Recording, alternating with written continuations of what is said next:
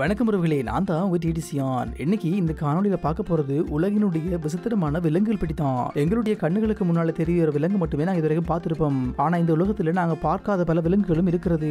இப்படி எல்லாம் விலங்குகள் இருக்கான்னு நாங்க யோசிச்சு கூட மாட்டோம். அப்படியான விலங்குகளுடைய பட்டியல் தான் நான் உங்களுக்கு தரப்போறேன் அந்த வகையில நாங்க முதலாவது பார்க்க போறது மீன் பெட்டி தான் மீன் என்று சொன்னாலே எல்லாருக்கும் சாப்பாடு தான் ஞாபகம் வரும். இதனையும் தாண்டி வீட்டுல மீன் வளர்க்குறாக்கள் நிறைய பேரை நாங்க பார்த்திருப்போம்.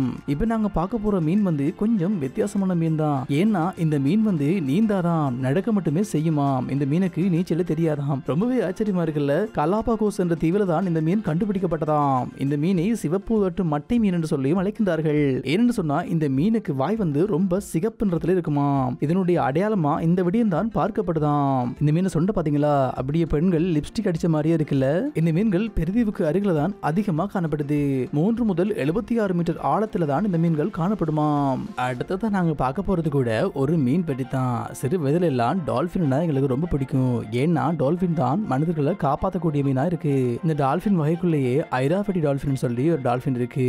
இந்த டால்ஃபின் வந்து பெரும்பாலும் தென்கிழக்கு ஆசியாவின் கடற்கரைகளையும் குளங்களையும் ஆறுகளையும் அதே மாதிரி வங்களா விரிகுடாவிற்கு அருகிலையும் தான் அதிகமாக காணப்படுதாம். ஜூரிகாயில ஐலேண்ட் சேர்ந்த இந்த டால்ஃபின்கள் வந்து ஆயிரத்தி எண்ணூற்றி அறுபத்தி ஆறாம் ஆண்டுல தான் சர் ரிச்சர்ட் ஓவன் இந்தியாவில் விசாகப்பட்டினம் துறைமுகத்தில் தான் இந்த ஒரு மாதிரியை கண்டுபிடிச்சாராம். இந்த ஐராவரி டால்ஃபினை பார்த்தீங்கன்னு சொன்னா இதனுடைய நிறம் வந்து தனித்துவமாக இருக்கும். அதே மாதிரி இதனுடைய தலையின் வடிவம் பார்க்கவே வித்தியாசமாக இருக்கும். அதனால தான் இந்த டால்ஃபின்கள் அதிகமாக பேசப்படுது.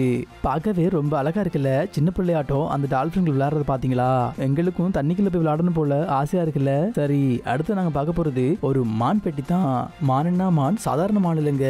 இது கொஞ்சம் வித்தியாசமான மான். அதாவது சைகா மான். மிகவும் ஆபத்தானவும் அருகி வரும் உயிரினங்கள் ஒன்றாகவும் இந்த உயிரினம் பார்க்கப்படுதாம். ரஷ்யாவினுடைய ப்ரீ காஸ்பியன் பகுதியில் அதே மாதிரி கஜகஸ்தான் ஈரானுடைய ஜூரல் உஸ்ட்ரியட் மற்றும் பெட்பக்தலா மூன்று பகுதிகளிலையும் இவை காணப்படுகிறதாக சொல்லப்படுகிறது.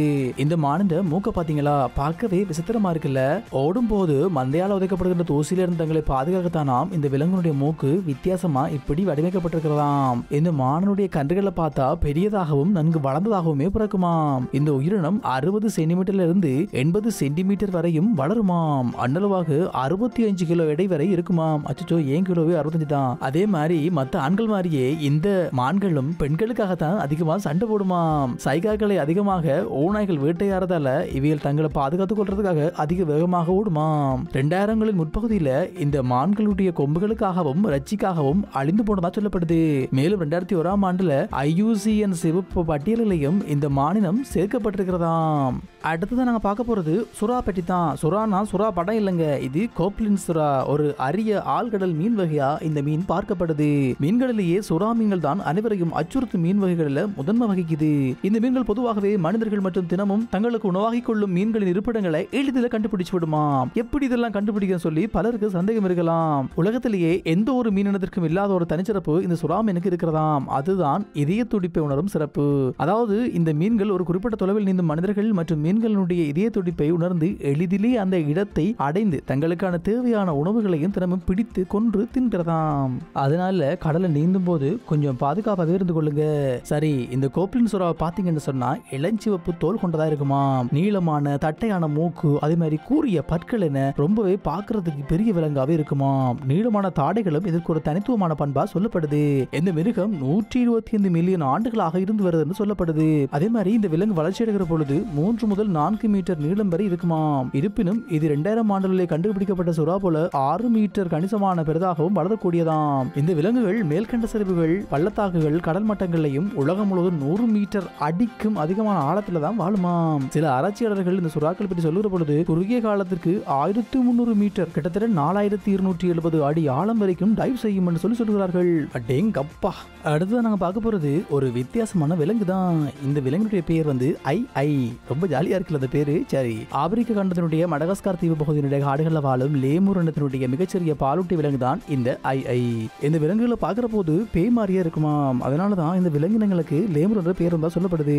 லத்தீன் மொழியில லேமூர் என்ற சொல்லுக்கு இரவு ஆவி என்று பொருளாம். அந்த வகையில இந்த பாலூட்டி வந்து உலகினுடைய வித்தியாசமான விலங்கா பார்க்கப்படுது. ஐயை விலங்கினுடைய கைகளில் உள்ள நடுவிரல பாத்தீங்களா? எவ்வளவு நீளமா இருக்குன்னு சொல்லி. ஏனைய விரல்களை விடவும் இந்த விரல் மிகவும் நீளமா இருக்குல்ல? இந்த விரல் பூச்சிகளுடைய லார்வாக்களை பிரித்தெடுக்கவும் மரங்களுடைய பட்டைகளை உரித்தெடுத்து அதுக்குள்ள இருக்கிற புழு மற்றும் பூச்சிகளை உணரத்துக்கும் பயன்படுத்தப்படுதாம். அதே மாதிரி இவ்வாறு பூச்சிகள் புழுக்கள் கிடைக்காத பட்சத்துல காளான்கள் பழங்கள் மற்றும் கொட்டைகளையும் விலங்குகளையும் உணவாக உட்கொள்ளுமாம். மடகஸ்காரன காடுகளை கண்மூடித்தனமாக வெட்டுவதால தான் இந்த ஐயை விலங்குகள் இப்ப அழிந்து போகிற அபாயத்தில் இருக்கிறதாக சொல்லப்படுது. இந்த விலங்கினுடைய உடல் பாகம் பதினாலு தொடக்கம் பதினேழு அங்குலம் வரை இருக்குமாம். அதே மாதிரி இந்த விலங்கினுடைய வாளினுடைய நீளத்தை பாத்தீங்கன்னு சொன்னால் இருபத்தி ரெண்டு தொடக்கம் இருபத்தி நாலு அங்குலங்கள் தான் இருக்குமாம். இந்த விலங்கு ஒன்று தசம் எட்டு கிலோகிராம் எடையும் கொண்டு இருக்குமாம். அடுத்து நாங்க பார்க்க போறது கூட ஒரு வித்தியாசமான உயிரினம் தான். பாக்குறதுக்கே எலி மாதிரி இருக்கும். கங்காரு மாதிரி தாவி தாவி தெரியும். இதனுடைய பேர் பாத்தீங்கன்னு சொன்னா கோபி ஜெர்போவா தான். சீன மற்றும் மங்கோலியா பாலைவனங்களை தான் இந்த கோபி ஜேர்போவா அதிகமாக காணப்படுகிறது. மிதமான புல்வெளி அதே மாதிரி பாலைவனங்கள் தான் அதிகமா இது வாழுமாம். இந்த கொருத்துண்ணி எப்பயுமே கொதிச்சு குதிச்சு தான் போகுமாம். அதே மாதிரி இந்த கொருத்துண்ணி தண்ணியே குடிக்காதான் தண்ணியை குடிக்காம எப்படி உயிர் வாழன்னு பாக்குறீங்களா? இது சாப்பிடுற சாப்பாட்டிலேயே தேவையான ஈரப்பதம் இருக்குமாம். பெரும்பாலும் பூச்சிகளை தான் இது அதிகமா ஒண்ணுமாம் இந்த வித்தியாசமான விலங்கு இரண்டாம் உலக போரின் போது கிரேட் பிரிட்டனால் ஒரு சின்னமாகவும் பயன்படுத்தப்பட்டிருக்கிறது. விதைகளையும் வேர்களையும் கிழங்குகளையும் பூச்சிகளையும் வெட்டுக்கிளிகளையும் வண்டுகளையும் அதிகமா உண்ணுமாம். இந்த இனத்துக்கு பெரிய அச்சுறுத்தல் எதுவுமே கிடையாது. ஏன்னா ரொம்பவே இலகுவா எல்லா விலங்குகளிடமிருந்தும் தப்பிச்சிடும் இப்ப நீங்க இந்த காணொலியில பாக்குறீங்க தானே பாம்புகள் இருந்து எப்படி எளிதா தப்பிக்கின்றத பின்னங்கால்களால தள்ளி வாழை சுழட்டி கொண்டே தப்பிச்சது இல்ல அடுத்தது நாங்க பார்க்க போறது கூட ரொம்பவே வித்தியாசமான ஒரு பூச்சி வகை தான்.